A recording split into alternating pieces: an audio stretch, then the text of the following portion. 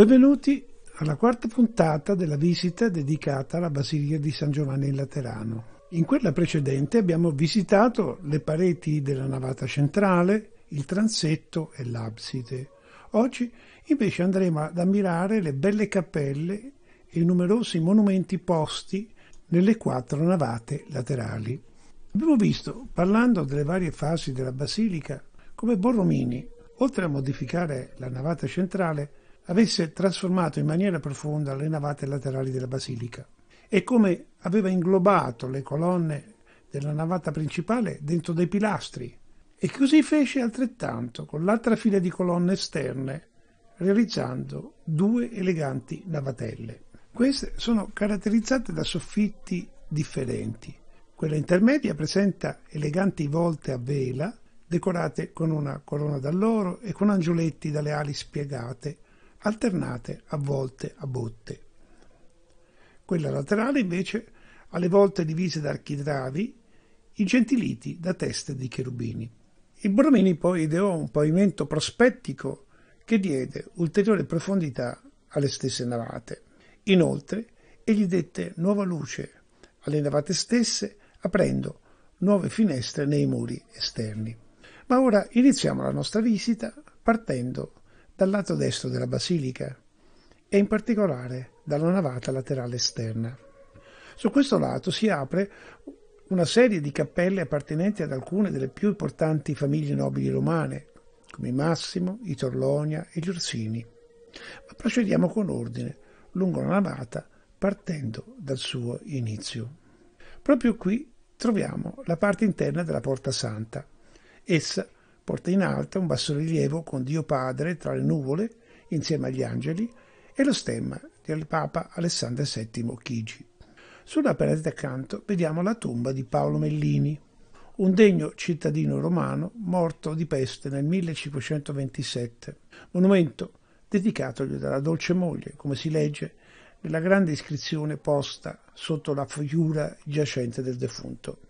Più in alto vediamo una Madonna con il bambino e il crocifisso, purtroppo molto rovinata. Procedendo troviamo la cappella dedicata a Santa Maria Assunta, appartenente alla famiglia Orsini realizzata nel 1729.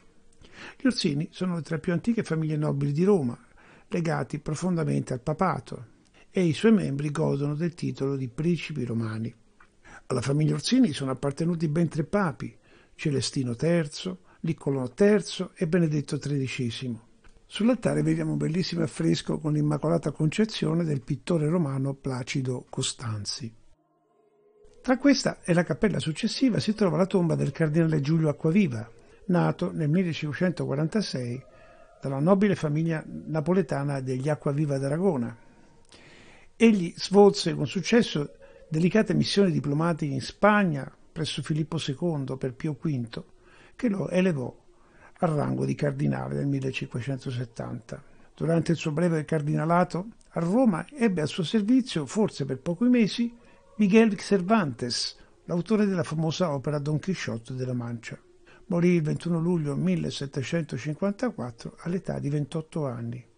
La tomba ha al centro l'epigrafe dedicatoria sovrastata dallo stemma degli Acquaviva di Aragona. Sui lati vediamo le statue della prudenza e della temperanza, provenienti da una più antica tomba in questa basilica, equiposte dal Porromini.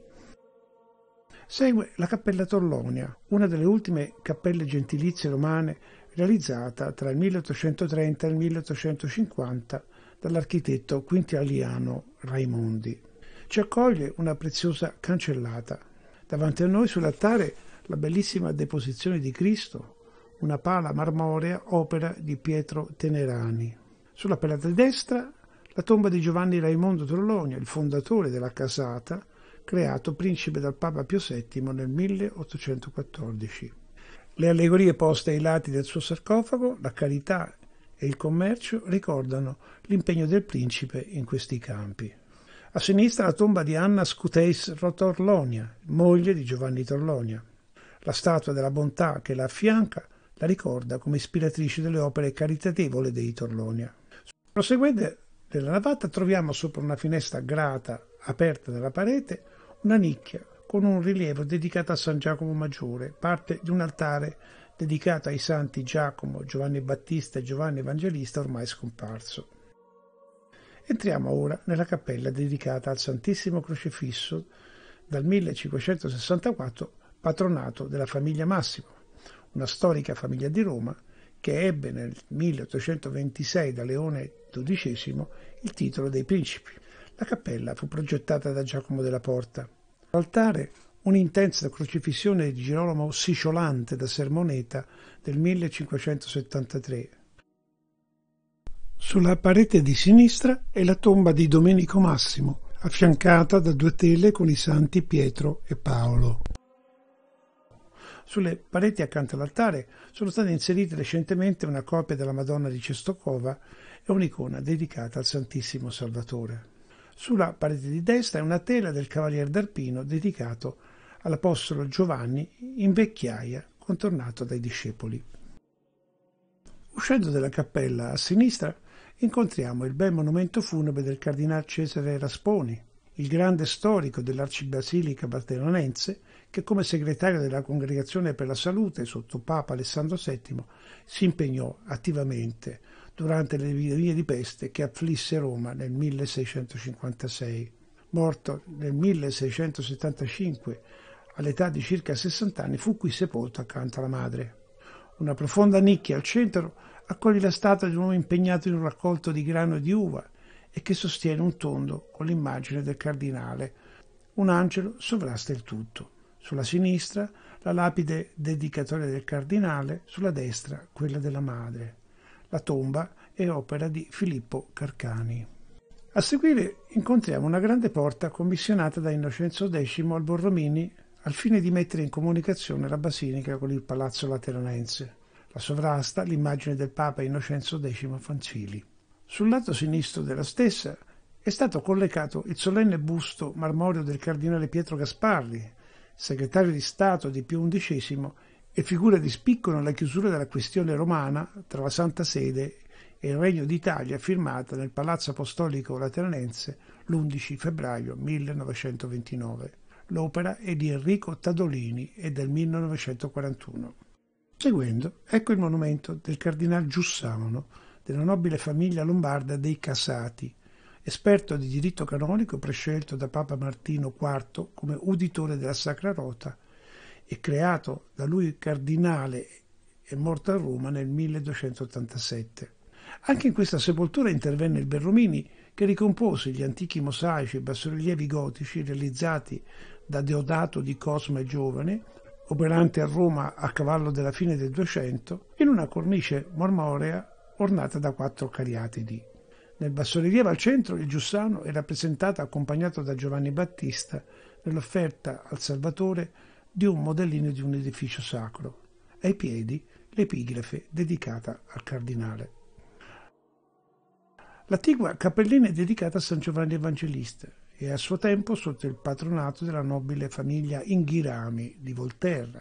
Sulla parete d'altare il grande affresco affigurante la visione della Beata Vergine Maria da parte di San Giovanni nell'isola di Patmos, opera di Lazzaro Baldi. L'ultimo monumento di questa navata, prima del transetto, è la tomba di Martinez Chavez, cardinale del Portogallo, morto nel 1447. Anche qui Borromini scompose l'antico monumento rinascimentale e lo ricompose in forma di tabernacolo barocco. L'antico sarcofago con l'epigrafe sostiene la figura del cardinale giacente. Lo circondano al centro la Madonna, affiancata dalla fede e dalla carità. Ai lati le virtù della prudenza e della temperanza. L'opera è stata attribuita da alcuni al Filarete, altri ad Asia da Pisa. Visitiamo ora la navata intermedia a destra, risalendo dal transetto verso l'ingresso. Il primo monumento appoggiato al pilastro di destra è quello del cardinale Ranuccio Farnese, attribuito al Vignola. Nipote di Papa Paolo III e arciprete dell'Arcibasilica, è ricordato anche come un grande mecenate e uomo di grande rettitudine. Il cardinale Carlo Borromeo lo celebrò per la sua sapienza e la sua carità. In alto lo stemma della famiglia Farnese, affiancato da due allegorie in stucco della fede e della prudenza, opera del Valsoldo. A seguire, sempre sullo stesso lato, si erge il sepolcro di Papa Sergio IV. Il suo busto in bassorilievo è inserito in una ghirlanda di stelle. Non abbiamo molte notizie storiche su questo Papa, ma sappiamo che fece grandi sforzi per alleviare la carestia a Roma nel suo tempo. Importante è anche una sua bolla, datata 1010, che chiedeva la cacciata dell'Islam dalla Terra Santa. Infatti l'anno precedente, nel 1009, il califfo Achim aveva saccheggiato i luoghi di culto dei cristiani e distrutto la basilica del Santo Sepolcro a Gerusalemme. L'oltraggio a questo luogo sacro ai cristiani sarà una delle cause ufficiali per cui si invocherà 86 anni più tardi, nel 1096, la prima crociata.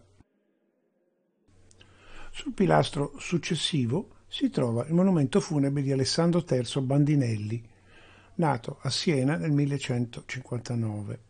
Fondatore della Lega Lombarda contro l'imperatore Federico Barbarossa, esso fu fatto erigere diversi secoli dopo, nel 1660, da Alessandro VII. Nel marzo del 1179 Alessandro tenne il terzo concilio laterano, nel quale fu deciso la norma, tuttora in vigore, che richiede che nessuno possa essere eletto papa senza il voto di almeno due terzi dei cardinali. Inserita in un tabernacolo con preziose colonne al centro, vediamo un'ampia epigrafe realizzata su marmo nero su cui è posta l'immagine del Papa, opera di Domenico Guidi. A seguire troviamo il cenotafio di Papa Silvestro II al secolo Gerberto Doria, il primo Papa francese, pontefice che traghettò Roma e il mondo cristiano attraverso lo spartiacque dell'anno 1000. Questo Papa grande studioso di scienze naturali e di astronomia, ebbe nel Medioevo la fama non meritata di mago e astrologo. E la sua sepoltura ha avuto una lunga e particolare storia. Inizialmente era vicina all'ingresso della basilica e varie leggende sorsero intorno ad esse, tra i quali quella di profetizzare attraverso suoni e segni la prossima scomparsa di un papa regnante. Nel 1684 Papa Innocenzo X ordinò un'ispezione dell'antica tomba e il corpo di Silvestro II fu trovato ancora lì intatto, ma non appena entrato in contatto con l'aria si dissolse di colpo. In seguito, per conservare la memoria di questo Papa, fu realizzato il presente cenotafio, recuperando l'antica epigrafe funebre posta sull'antica tomba. Il bassorilievo, che oggi posto sul monumento, è stato donato dagli ungheresi nel 1909 a ricordo della corona inviata da Silvestro II al duco Stefano in occasione della sua incoronazione al re avvenuta nel 1001. Sull'ultimo dei pilastri di questa navata intermedia possiamo ammirare un famoso frammento di un affresco attribuito a Giotto di Bondone, uno dei grandi maestri della pittura italiana duecentesca. Originariamente esso faceva parte di una grande decorazione dell'antica loggia delle benedizioni, fatta erigere da Bonifacio VIII nel Patriarchio. Da questa loggia la tradizione vuole che sia stato indetto il primo giubileo del 1300 e durante i lavori di Papa Sisto V tale loggia fu distrutta e trasferita dove si trova oggi, al termine del transetto destro. Il frammento, inizialmente trasferito nel chiostro, alla fine del XVIII secolo fu definitivamente collegato all'interno della basilica. L'affresco raffigura Papa Bonifacio VIII sotto una struttura architettonica vestito con le solenni vesti pontificali, con il manto purpureo e la tiara, affiancato da due figure di ecclesiastici, di cui uno regge un cartiglio. Il tema di questo frammento superstite è stato oggetto di varie interpretazioni. Alcuni riconoscono qui la presa di possesso del Laterano, avvenuta nel 1295 da parte di Bonifacio VIII, e il personaggio sulla destra sarebbe Celestino V, il predecessore di Bonifacio, che rinunciò alla dignità papale per dedicarsi alla vita contemplativa. Un'altra tesi invece sostiene che l'affresco rappresenterebbe proprio l'indizione del primo giubileo. Riprendiamo il nostro cammino visitando l'ala sinistra della basilica, partendo dalla navata laterale esterna. Anche su questa si affacciano alcune cappelle di nobili famiglie come i Corsini, gli Antonelli e i Lancellotti. Proprio sulla parete vicino alla porta d'ingresso vediamo la tomba di Riccardo degli Annibaldi della Molara. Il monumento sepolcrale originale fu opera di Arnolfo di Cambio. Purtroppo alla statua giacente sono stati aggiunti nel Settecento elementi particolari e poco ricorrenti, come il teschio con barba, sormontato da un serpente con le fauci aperte. Proseguendo nella navata, incontriamo una delle più belle cappelle della basilica, quella della famiglia Corsini fatta costruire da Papa Clemente XII in onore del suo antenato Sant'Andrea Corsini. Il Papa ne affidò la progettazione nel 1734 ad Alessandro Galilei, l'architetto al quale era stata affidata anche la realizzazione della nuova facciata della basilica. Passato il prezioso cancello, istoriato da stemmi papali e da angeli con la tiara, la cappella ci appare in tutta la sua bellezza. Sull'altare in fondo è posta fra due colonne di verde antico, una copia in mosaico del quadro dedicato a Sant'Andrea Corsini di Guido Reni. Sant'Andrea Corsini, vissuto nel 1300, appartenente all'ordine carmelitano, fu vescovo di Fesole e inviato da Papa Urbano V come legato pontificio a Bologna, dove si dedicò alla pacificazione delle fazioni cittadine in lotte fra loro. La tradizione vuole che il santo portasse i fiorentini alla vittoria durante la battaglia di Anghiari nel 1441 contro le forze milanesi dei Visconti. Beatificato da Eugenio IV nel 1440, fu santificato da Urbano VIII il 22 aprile 1629. In alto, sopra l'altare, il bassorilievo che ricorda l'intervento del santo nella battaglia di Anghiari. Nella nicchia di sinistra il solenne monumento funebre a Clemente XII, le cui spoglie sono deposte nell'urna di Porfido sul quale troneggia una tiara impreziosita da un cuscino di marmo orientale. La grande statua bronzo del Papa, opera di Giovanni Battista Maini, raffigura il pontefice seduto in atto di benedire con vesti e tiara dorate. Le due statue laterali sono quelle dell'abbondanza e della magnificenza. Alla tomba del Papa vediamo quella del cardinale Neri Corsini, zio di Clemente XII, vescovo di Arezzo e titolare della Basilica dei Santi Nereo e Achilleo a Roma. La sua grande statua ha un ricco panneggio e ai suoi piedi l'allegoria della religione e un angelo che porta una croce di tipo patriarcale. Usciti dalla cappella, sulla parete sinistra, sopra il confessionale, una lastra tombale graffita commemora Gerardo Bianchi, cardinale di Santa Sabina, primo arciprete dell'arcibasilica nel 1302. La successiva cappella è dedicata alla dormizione della Beata Vergine Maria ed è patronato dei conti Antonelli, originari di Gubbio, ma poi divisi in diversi rami. Sopra l'altare domina l'affresco dell'Assunta fra i santi Domenico e Filippo Neri, opera di Giovanni Oddazzi e di Ignaz Stern, che racchiude in basso un'antica tavola con la dormizione della Vergine risalente al secolo XIV. Questa si trovava nell'antico patriarchio, ma fu ridipinta nel secolo XVI e portata in questa cappella. Sulla sinistra troviamo il monumento funebre del cardinale Nicola Antonelli, con il ritratto del cardinale e l'allegoria del tempo.